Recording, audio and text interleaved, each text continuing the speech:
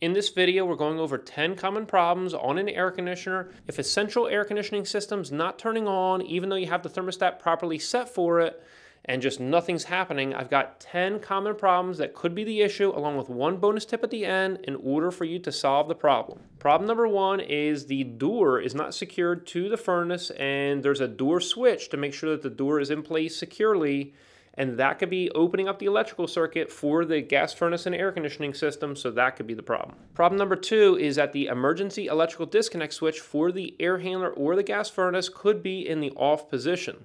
And that could have just got bumped by somebody just moving storage items into the area. But the other thing is you may find one of these that were incorrectly installed, so upside down. So if you were to flip this up, it actually still says off, even though the faceplate says that it's on. So you want to pay more attention to the actual switch itself. Problem number three is that you could have a breaker in the off position accidentally turned off, or maybe it tripped due to a problem, or at the outdoor disconnect, especially on an outdoor package unit, you could have fuses that are blown in the actual unit.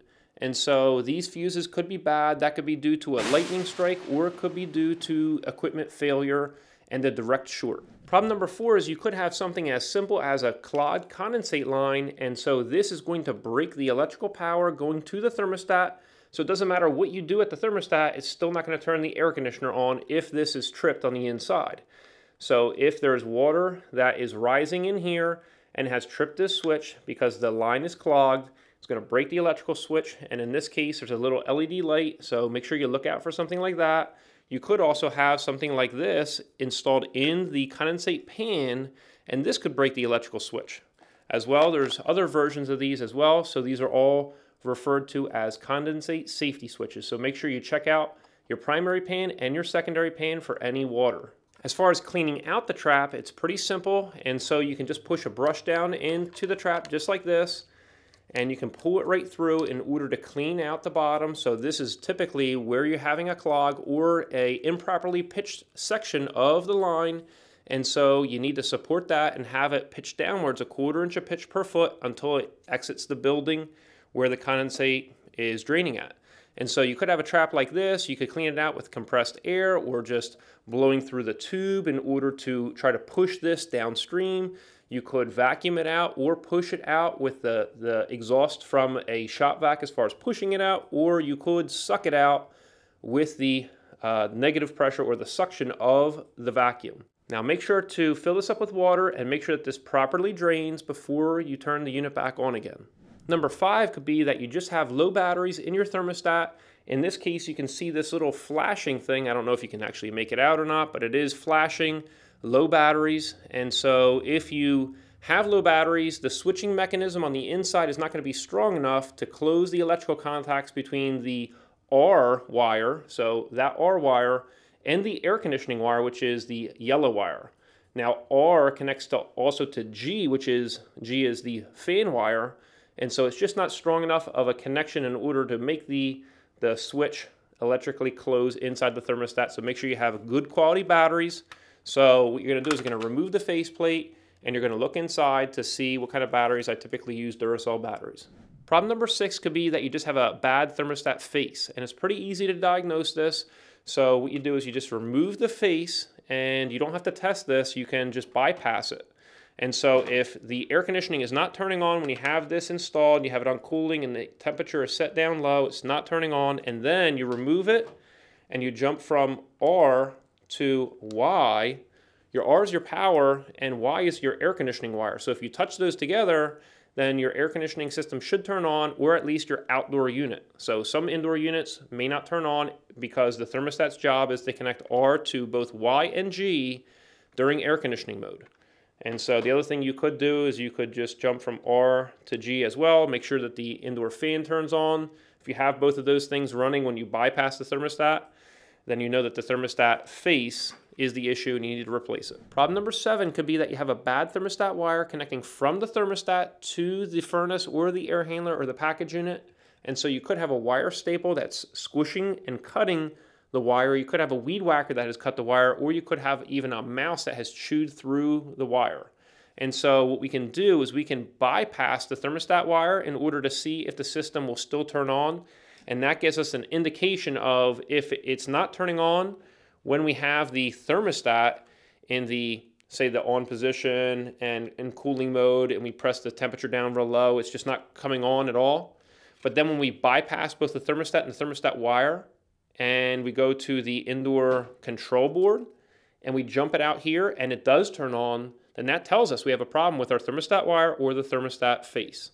And so what you can do is, is take the cover off of the furnace or the air handler and if it has a door switch, you're gonna have to temporarily close that and you're gonna jump from R to Y. And so remember R is your power wire coming off of your control board, that's your 24 volt power, and Y is your air conditioning wire. So your indoor fan and your outdoor condensing unit should both turn on. You could also check from R to G just to see if the indoor fan turns on. So if it does, then you know you have a problem with your just your wiring, your control for the user that needs to be replaced or fixed. Problem number eight is that you could have bad settings in your Nest thermostat, some Wi-Fi thermostat. This happens a lot where somebody just replaces the thermostat and maybe it works during heating season and an air conditioning season comes and all of a sudden it's not working. And so you want to check to make sure that you have the proper settings. If it's a heat pump or if it's a gas furnace and air conditioning system or if it's an air handler with electric resistance heat, you know, you have to set that in the thermostat itself in order for the thermostat to know which wires to connect. And so that could be your issue. Problem number nine could be that you have a bad 24 volt fuse. So this fuse is protecting the control board from any a problem in your thermostat wire such as a mouse chewing and then two wires touching each other. And so it's also protecting the transformer in case of any direct short so it's not burning it out. You know, that same thing can happen if you squish the thermostat wire. And so you'll see on this, this fuse a burn spot right in the middle. And that indicates that that fuse has blown. And so I have a whole nother video on how to troubleshoot and in order to uh, basically quickly troubleshoot, you basically divide the system into parts in order to troubleshoot it. So make sure you check out that video and I have that link down in the description section below. But this happens a lot when you have a mechanical thermostat and the mechanical thermostat is not digital, so it's not like it's blank or anything. And so you think the power's still on, but you have a blown fuse due to some problem in your thermostat wiring. So in order to find this fuse, I just want you to know where it's at. It's inside the, the indoor air handler or the furnace or the outdoor package unit at the control board. And you may not have this type of fuse. And so the, the purple ones are 3 amp and these light yellow ones, those are 5 amp. And so you got to replace it with the same amperage fuse in order to protect the system. You could also have a cylinder type fuse, which will be uh, found protected in a little case like this, and this will be on older systems. Problem number 10 could be a bad capacitor. And so if your indoor blower motor is not running, like nothing's turning on and you don't hear the outdoor unit running, it could just be a bad capacitor at the indoor blower motor. Now at the outdoor unit, you could also have a bad start capacitor. That's a black one like this. You could have a, a bad run capacitor, a dual run like this, where all of the dielectric fluid has leaked out.